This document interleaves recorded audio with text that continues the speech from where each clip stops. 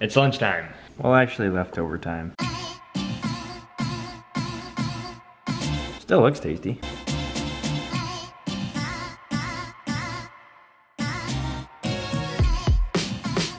Lunch was delicious, the truck is looking good, and I did a wardrobe change. Now it's time to get some work done.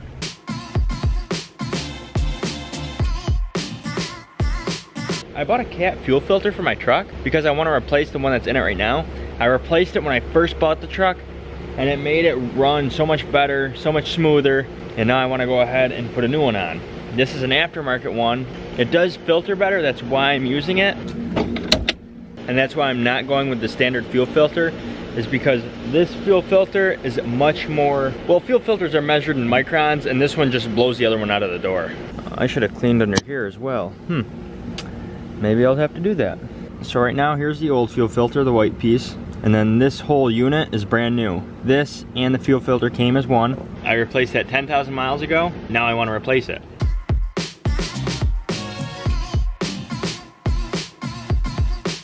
See, I was having problems with this before I left because my kit, you need a you need an adapter kit. My kit didn't come with instructions, so I had absolutely no idea how to do this. But after doing a little bit of research, I think I know how to do it. Saying that, let's get dirty. I like getting dirty.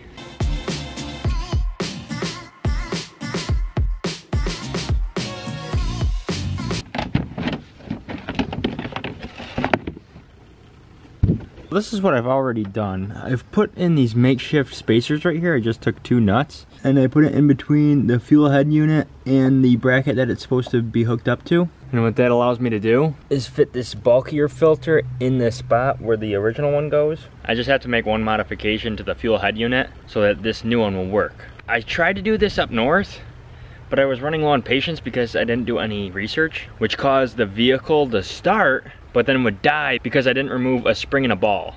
I have to remove the spring and the ball. Uh-oh, I might not have the tools to do this. That's not good. Oh my goodness, I've never been so happy to see one of these kits. Maybe I need to invest in one of those things. It just came in clutch right here.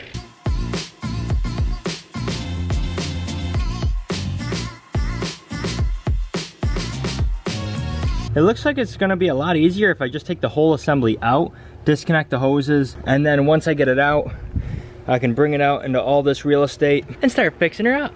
Well, actually tearing it apart.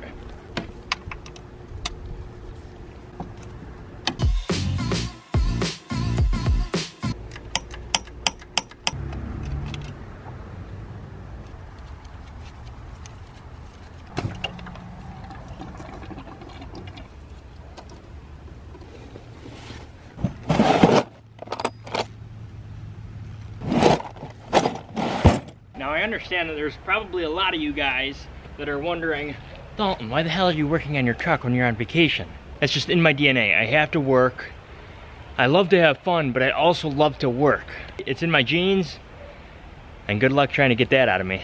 It's something you can't unprogram. You can't uninstall it. It's a program that can't go into the recyclable bin. It's gonna stay right with me.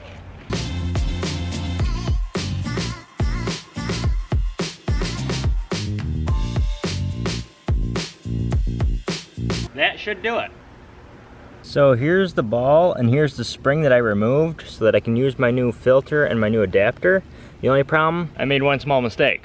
And that was I left this O-ring on the adapter, which means it expanded. So now I washed the diesel fuel off with some soapy water. Now I have it on a black surface so that it'll dry out and shrink.